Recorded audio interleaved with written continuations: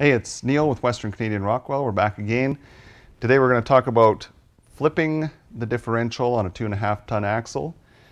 Um, as you can see, we've got an old steer axle mocked up here on the forklift. The reason why you might want to flip your chunk, basically pick it up, turn it 180, set it back down, is that as you can see, I have a short side, long side tube, and the pinion is offset quite a bit.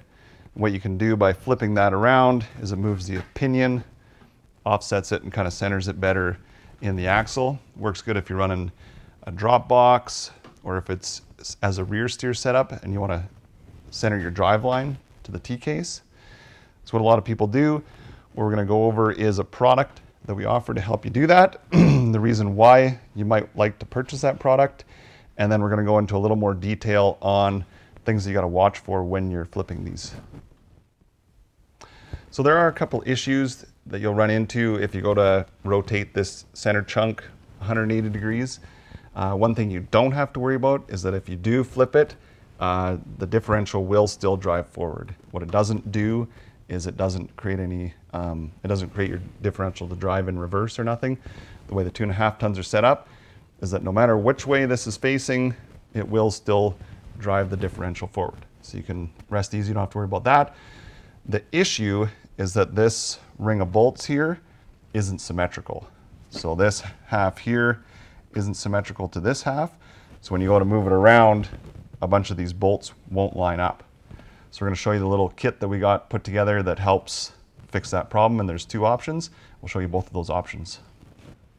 Okay, so this is our first product. This is the first option that you get. And what this is is a drill jig. What it allows you to do is it bolts on to the bottom of the differential and it gives you a template for drilling out this differential. Helps line up your drill bits exactly where they need to be. Uh, keeps your drill nice and straight as you're drilling it. And then what that allows is it gives two sets of bolt holes in the differential. So that way you can either flip it one way, flip it 180, and the second set of bolt holes will line up in both directions. And that's what this is for. This is our second option. And what this allows you to do is it allows you to drill and tap the housing.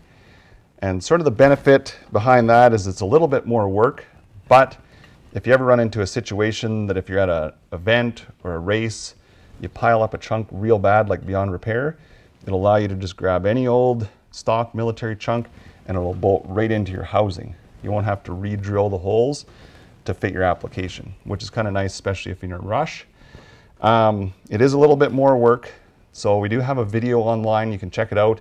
It goes into all the details about using this uh, flip jig. And basically what it does is it uses these four holes, this plate. What it'll do is it'll bolt on here. So it bolts on.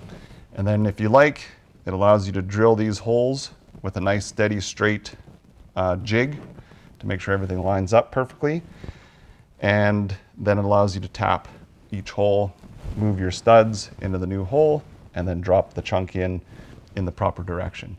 Uh, it's also marked, you can see here, we etch it with the drill bit size and the tap size that you'll need.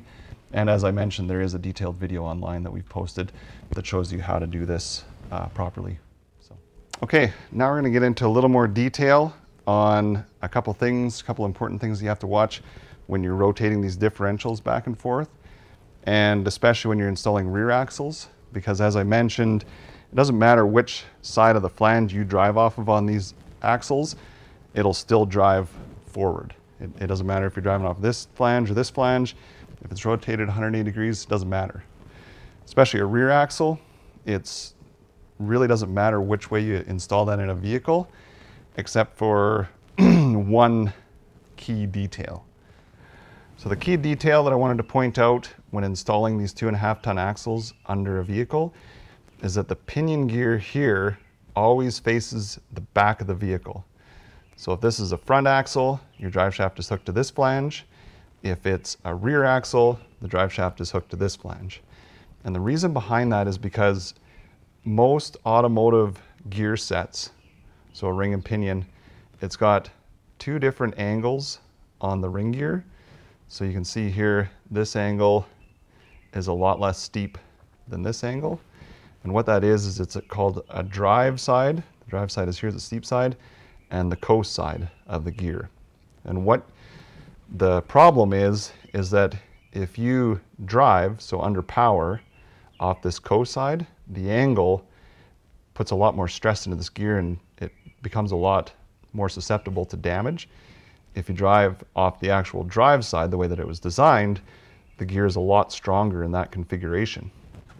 The problem that I've seen with these is that in uh, stock form, there's never really too many issues, like the gear sets are strong enough that you'll break uh, axle shafts long, time, long before you fail a good set of gears.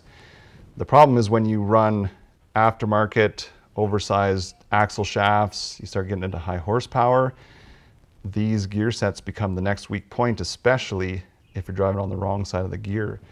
So always kind of keep that in mind when you're installing these in a vehicle.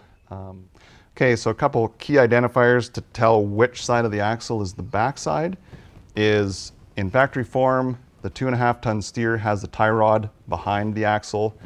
Um, the rear axle, it's a little harder to, to differentiate because the whole thing is kind of symmetrical left to right, front to back. The one main difference though is the fill plug on the axle housing. It's always going to be, need to be to the rear of the axle. Same with the steer. So if somebody's flipped the knuckles left to right, moved the tie rod to the front, the drain plug should still be on the back. But keep in mind, that's only if the differential hasn't been drilled and flipped. So if you want to be 100% certain that you've got the pinion gear in the correct orientation, you pretty much have to pop off this little rectangle cover up top here and have a look. We just stepped outside for a minute. Uh, this video is about the two and a half tons. We're going to touch on the five tons here quick, just because I'm going to get a lot of questions on it. The five ton chunks, they do not need to be drilled. The bolt, the bolts that hold the differential to the housing are symmetrical. So you can pick it up, turn it 180, drop it back down, and you don't have to change anything. The other thing too, to mention about the big bearing and the small bearing is on a five ton, the big bearing is easy to tell. It has uh, eight half inch bolts on the big bearing side, and it has small 3 8 uh, bolts on the small bearing side. So you can tell from the outside without pulling the top cover. And the big difference is that on a five ton, it's backwards from a two and a half ton, where the big bearing always has to be on the front versus in the rear, like a two and a half ton. The thing I should mention though, is that the five tons are so massive that there's very few instances where I've seen ring and pinions fail on these things. And I haven't seen a lot of guys. I know there is bigger axle shafts out there, but they're not as common as guys running them in the two and a half tons. So if you have the small bearing up front, it's not really a deal breaker, but it's just something to keep in mind. Okay, thanks for watching guys. Hope you enjoyed the video. Uh, if you'd like to purchase one of these uh, drill templates that we sell, you can purchase them online or you can give us a call or message us, email. We're on all the socials, so just shoot us a message if you've got any questions and we'll be happy to help you. Thanks.